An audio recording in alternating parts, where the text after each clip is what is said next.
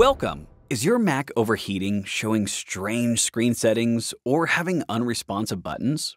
Resetting PRAM, NVRAM, or SMC can fix these problems. In this video, we'll show you how to reset them step by step for different Mac models. First, keep in mind the issue could be a cluttered cache or malware. A quick CleanMyMac X scan via Setapp can clear junk files and malware. If that doesn't work, resetting PRAM, NVRAM, or SMC is the next step. For settings issues like time, volume, or resolution, reset PRAM or NVRAM. For hardware problems like overheating, unresponsive keys, or noisy fans, reset the SMC. Not sure which to reset? Click the article in the description for guidance. To reset PRAM, shut down your Mac, restart while holding Command plus Option plus P plus R and hold until it restarts, or you hear the second startup sound. To reset NVRAM, do the same but with Option plus Command plus P plus R instead. SMC reset steps vary by model.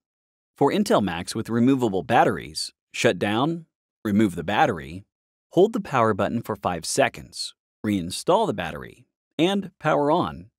For non-removable batteries, shut down, hold Shift plus Control plus Option and the power button for 10 seconds. Release and restart. For an Intel Mac with a T2 chip, it's simpler.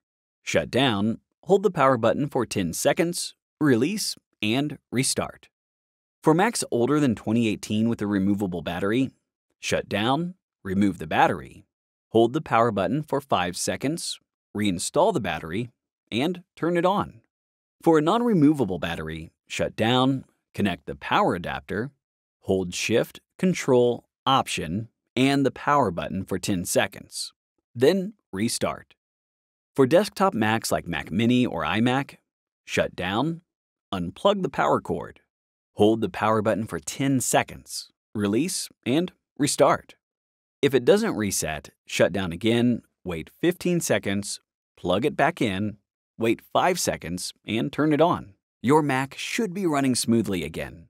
If heavy apps are slowing you down, try App Tamer and iStat menus from Setapp to manage CPU usage. Both, along with CleanMyMac X and over 240 others, are available on Setapp with a 7-day free trial. Click the link in the description to sign up.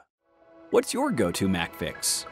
Let us know in the comments, and don't forget to like and subscribe for more tips.